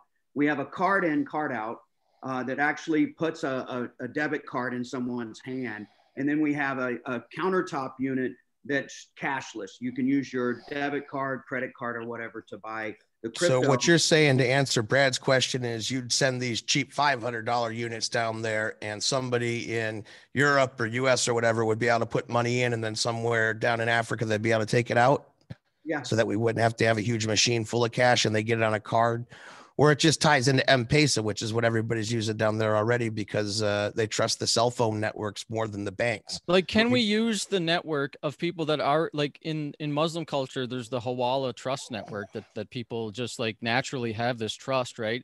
So, can we tap into these cultural networks of peer to peer, non KYC private like trust networks no and use? no that's the problem it depends uh, because then you then you expose yourself to these legal risks and there's a lot of uncertainty. So i mean i don't know if uh, actually i do know i do know in the united states i could not take a hundred dollars and send it to someone in africa that my customer uh, does not know who are and that i do not know who are and everything. What i don't about- think i could legally do it. I what about if you're not taking custody during the trade? What if it's more like a like a Well, technically, we never take custody in the trade on our ATMs. You agree that you're only sending money to yourself. So technically, it's not even a third party transfer. But the second we started transferring from a US machine to an African something, we'd have issues. But my question is this why wouldn't people that wanted to send $20 to uh, Nigeria or whatever, or whatever in Africa they're trying to do it, why wouldn't they just go to the machine, buy $20 worth of Bitcoin? And then buy with that. So right now, everybody in Africa is using this M-Pesa system, which is basically your cell phone credit. You send transactions via SMS. So essentially, they're trusting the telephone operators more than they are the government uh, sponsored banks. But that's a whole different discussion. But uh, why would we want to send them a bank transfer or have a $10,000 machine when they already have this super efficient SMS network? So I think people would just buy a Bitcoin from us from the ATM. We'd know who they are. That's all we need. Then they can turn around and send that to their family and their relatives or whoever for food or whatever they need to do. Peter Todd. Oh my God, trouble has officially arrived. Trouble is here. We're gonna Howdy. flip the discussion uh, to be a little more tech, uh, even though uh, Joshua from Voltura is going to join us as well, so we can get back to the uh, discussion of transactions. Well, hey, How, Peter, how are man, all how are of you like not eating and like just sort of like are you disappearing for a while eating and then coming back? What's what's going on? I'm just Oh, no, holding all oh, my B cash as long as I can. I've only been drinking tequila. I have not. I know, we I have- drinking and uh, uh, yeah, so I I'm still. Uh, well, no, It's well, like 5 p.m. 5:30 p.m. where tea. you are. Just It's like midnight for here. For the Arnold brothers, Ah. I, put the, I put the link to my book in the um in the chat. the so- yeah, yeah. So there it is, and then it's the Arnold brothers. You can look it up, and there's a couple of snippets on Steemit of all places. Oh, God. Steemit has a couple of my. Uh, All right, hey guys, I I want to I want to bring this back to tech. Uh, Peter, we were like talking a lot of shit about quantum computers. Uh, any comments you want to add to the ridiculousness of the quantum computers being a threat? And, and a lot of this talk is coming from shitcoiners that have, you know, like saying that their coins are quantum resistant. Uh, Peter, floor is yours. Bitcoin's birthday. Um, I think you were you were around like before Bitcoin even existed, uh, trying to build this shit. So uh, congratulations. Yeah, thank you. Well, uh, so actually, prior to Bitcoin, um, well, you know, being involved in kind of publicly, uh, I actually worked at a company doing, you know, some of the same technology as like what goes in quantum computers. Um, I was actually designing, uh, yeah, as one of my projects, designing a SQUID controller, um, which is sort of a superconducting quantum interference. Anyone else getting like very? It was really funny at that job. Peter, it's not working, buddy. Peter, you got to upgrade your internet, man. Uh, Tur- turn off a miner or two. Turn off the quantum miner in the background so that we can do the show here. Uh, uh, or, or your torrents, uh, you know, Uh, server uh, or something like that.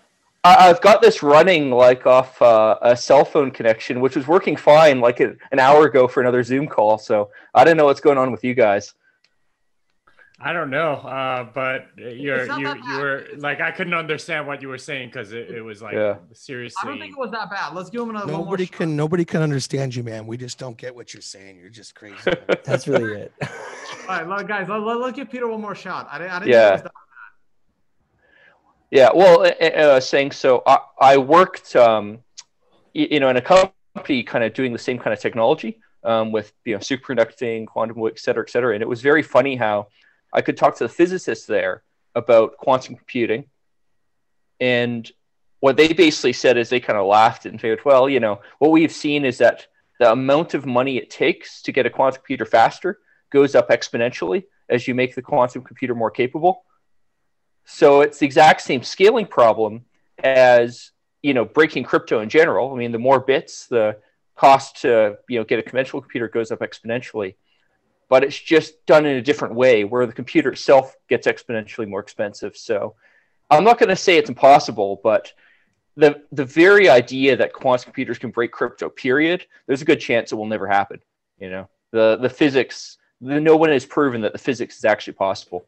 And secondly, even if they do, I mean, you can just go and swap in a new signature algorithm, and you know, there goes your quantum computers being able to break anything.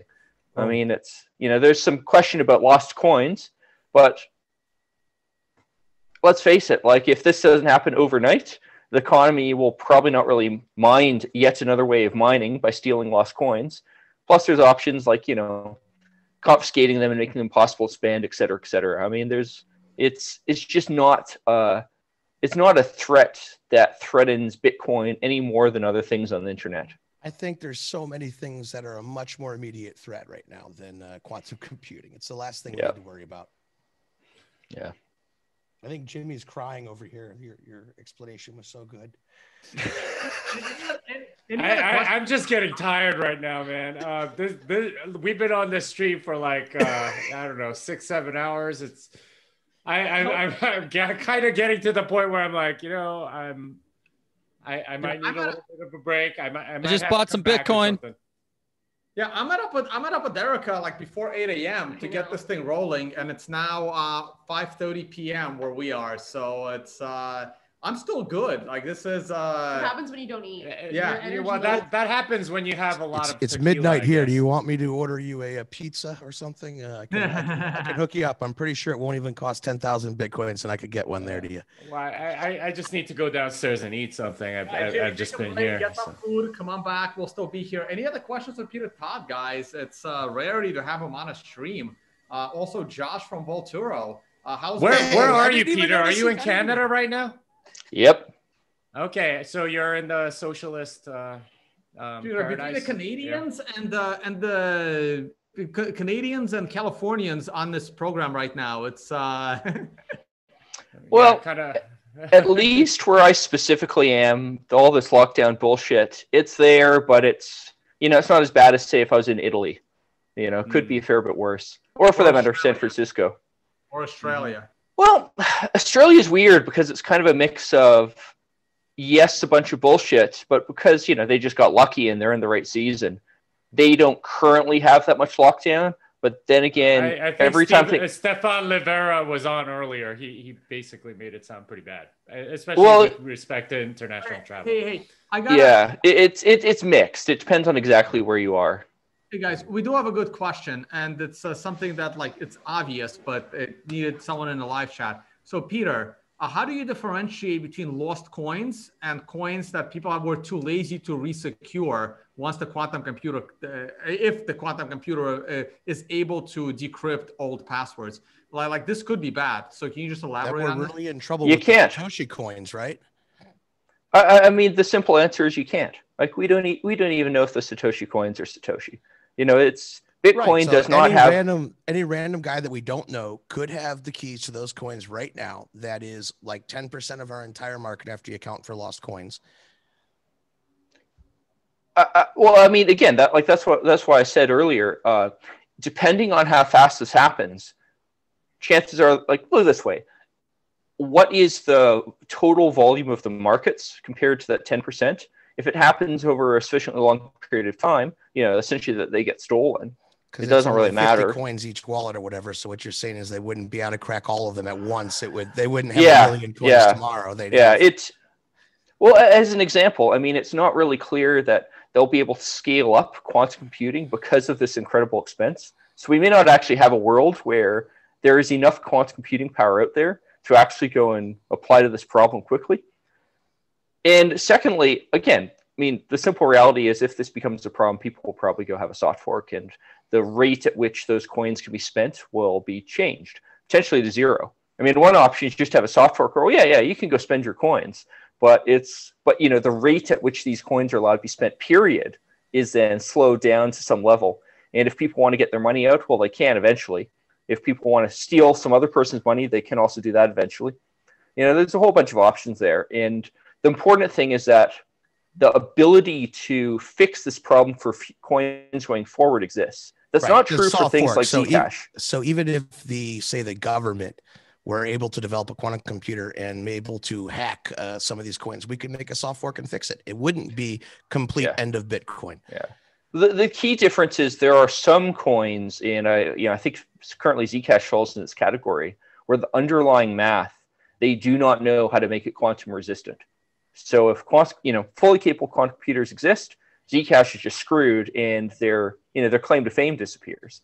Now, will that be true in ten years? I don't know, but you know it, it's a risk for certain types of coins, and it's one of the advantages of doing things very simply, like Bitcoin does. Whereas I like to say. Uh, a drunk fine arts student could go and uh, implement it. Which part? Which part of Zcash is it? The the privacy part, or what? What part? Of Yeah, the the zk proofs. Um, Yeah. my, my understanding is the current uh, iteration of zk proofs. Nobody has a good idea of how to make that quantum hard. You know what's Right. interesting too? JP Morgan's coin use Z- uses ZK stars. Yep. And um, that's just so interesting to me. Why do they need that for their interbank settlement? Oh, it's for branding. It's always for branding or or for marketing or something like that. That- No, I mean, almost always the The, the banks that I the banks that I've talked to at high levels have said the reason why we haven't got into crypto yet because it's not private enough. That Yep. seems to be a fairly high level normal. Seems like a giant contradiction to how uh, crypto is perceived. That the Yeah. reason why banks aren't getting in is because it's too private. Well, privacy for me, but not for thee. Yeah, exactly. Well, it's only as private as you want it to be, even with like uh, Monero and such. If I was working with a bank and I wanted them to know which transaction was going to who, I could easily uh, identify it. Yeah. If that was their requirement. And don't forget, with uh, things like GDPR, banks really do have significant privacy um, responsibilities under certain circumstances. So if you have technology that by default is very, very private, you can then implement the revealing of data when necessary. And you know, I mean, I, I've talked to a lot of banks, you know, doing consulting, and this actually is a very common thing for them to say. Ironically, because you know, uh, for starters, I mean, they want to be able to pick and choose who they comply with. You know, why comply with someone who you're not legally obliged to? Hey, so going back to the privacy question. News just broke the other day that well, at least one of the exchanges is looking to remove uh, privacy coins off of the exchange. What are your general thoughts on that? I mean, I'm not all that surprised, but uh, you know, I, I, would see that as just a risk reduction for them, make their life easier. It goes you back know, to your earlier answer where you said though that you can disclose, uh, you can remove the privacy. So if an exchange, say Kraken, that's operating in the U.S. needs to be able to sell Monero to customers, they can just require that they somehow taint those coins or something so that it has the customer's identification on them and they're no longer anonymous. So I think they could fix it that way. They certainly could, but it's more work than just delisting it.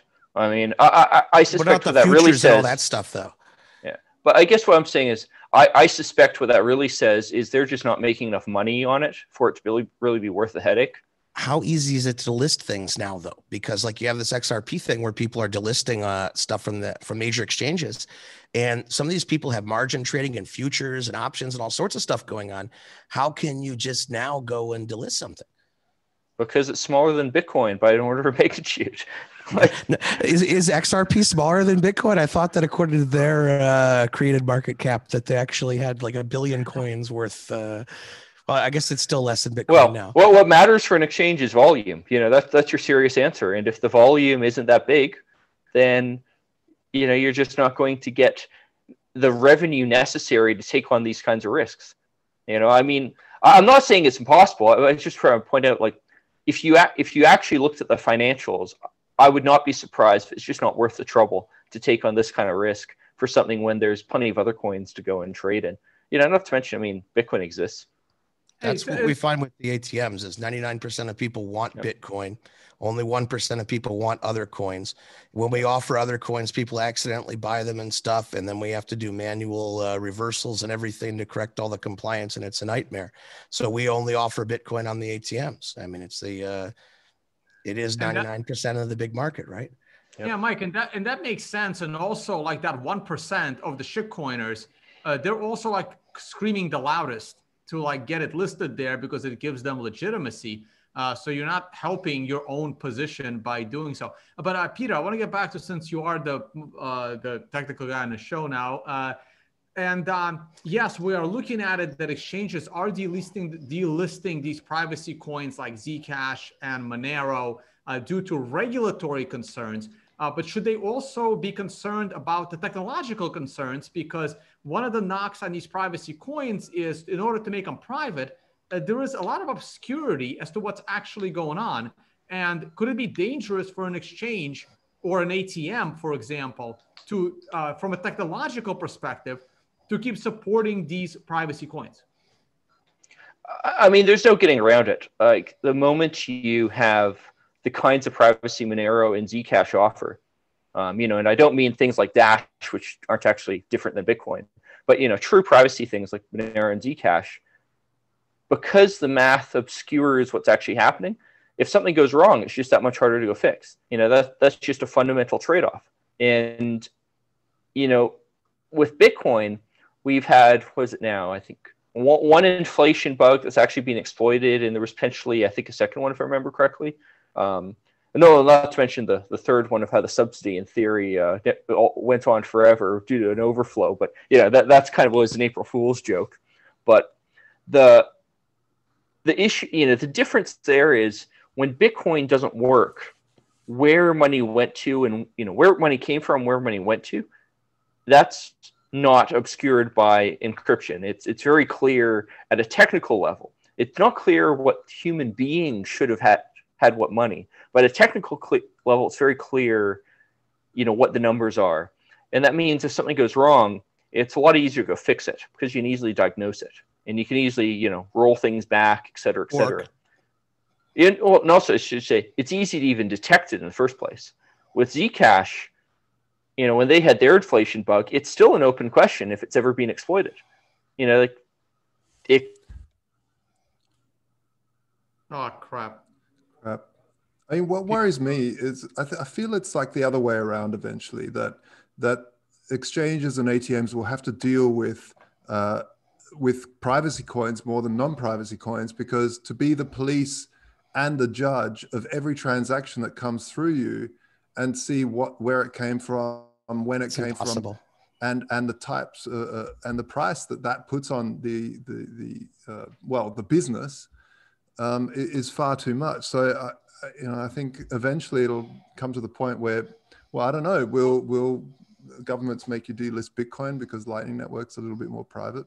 Hey, hey, Josh, I, can I just counter that real quick? Because I recently had this argument with someone. At least you'll have a business. Like, so if your view is, well, I don't want to deal with Bitcoin and I'd rather deal with privacy coins because then I don't have to deal with regulation, you won't have a business because they'll just take you down with that. Oh, I business. think I think we're the exact opposite. Uh, I think that we'd rather not deal with these anonymous coins and stuff that are 1% of our market share because legitimate people could actually just fill out the KYC and be part of it. And who is really the people that are trying to hide everything? Is that really people that are for their privacy and such, or is it criminals? And at some point, if you're operating a money services business, you've got to make this determination. Ah, go get Monero. All right, Peter, uh, finish your train of thought because you got frozen on us there for a minute. Yeah, I, I do not know what's with this uh, internet connection. It only doesn't work on your show, so I'll guess government conspiracy. but uh, but yeah, I, I was just trying to say like the the fact is because these numbers aren't there, when things go wrong, it's just that much harder to fix. You know, Zcash could still have undetected inflation from their last inflation bug. Not to mention, you know, a new inflation bug too. You know, it's just. Oh God damn it!